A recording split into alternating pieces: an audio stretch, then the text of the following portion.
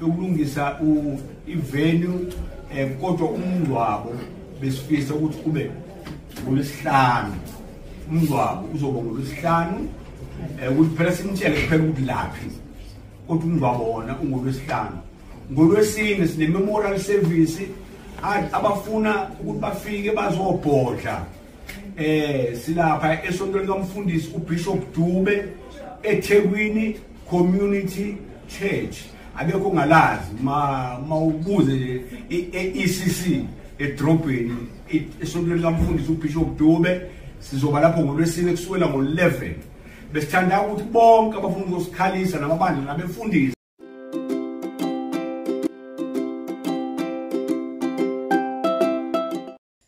guys, welcome to my channel. Well guys, heartfelt messages and condolences are pouring after the news broke that uh, uh, Mandla uh, Maphumulo, who is popularly known as Mampintsha, is no more.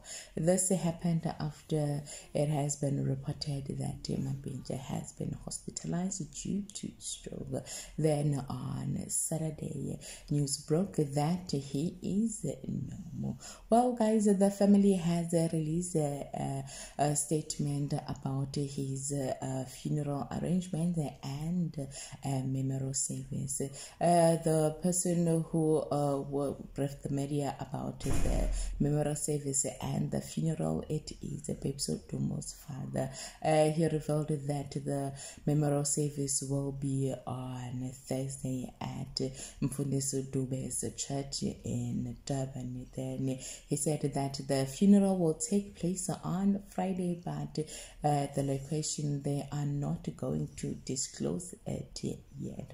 So, guys, uh, uh, Mampintsha will be laid to rest on Friday. Then on uh, Thursday, it will be his memorial service, and the public is invited to uh, uh, memorial service. Thank you guys for watching this video.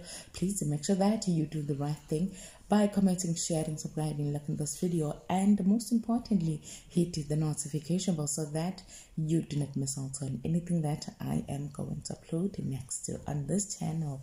Bye.